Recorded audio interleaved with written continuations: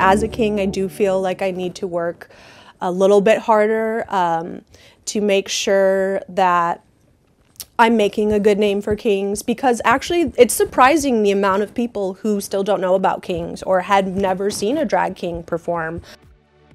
I've always been a big fan of drag and um, always appreciated the self expression. That was always a big draw for me.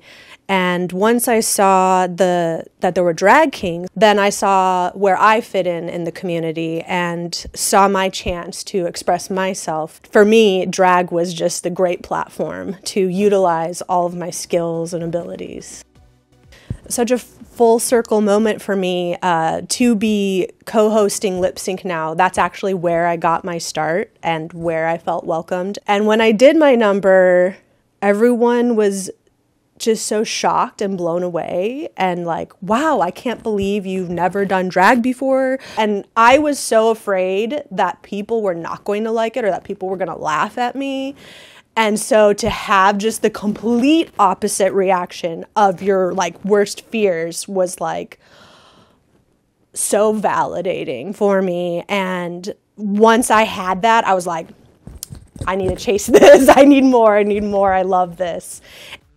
I actually feel so fortunate to do drag uh, specifically in Eugene because it is such a welcoming community. Um, they are accepting of all types of drag. That was actually something that I was really nervous about when I first started. Is um, I know kings are a thing, but is that something that's accepted here? Because I had, you know, seen that some queens didn't want to include kings in their show, didn't think that kings had a place in the drag community.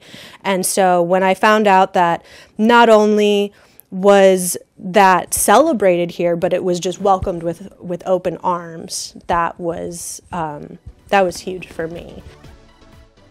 I would say, in general, as a king, that I feel a a need to do more, uh, to be seen and recognized because even though it is very uh, accepting and welcoming, I do think that um, just not enough people know about kings.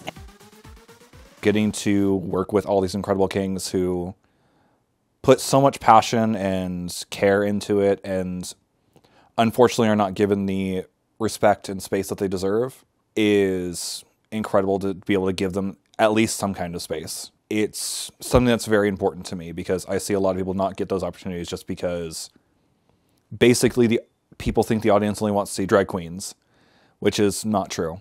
I've seen more kings get a better round of applause than some of those amazing queens I know.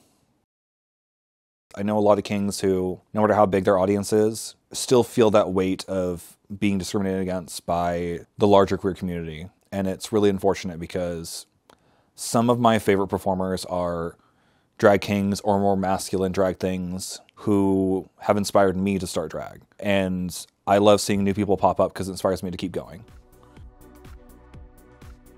Um, the first time I saw Drag Kings, it was really not until I started performing here at Spectrum. Because, like, before I was just consuming drag online, and so much of it is saturated by, like, queens.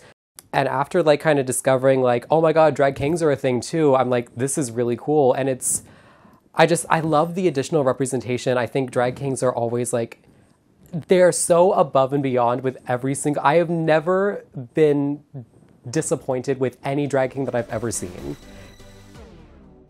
So much of my drag career was me finding myself and who I really am, and then carrying that persona over into real life. And so, if that was my experience, then there's the potential for even just one person to have that same experience. And so, if I can help just that one person have that experience too, then I just feel I will have a life well lived.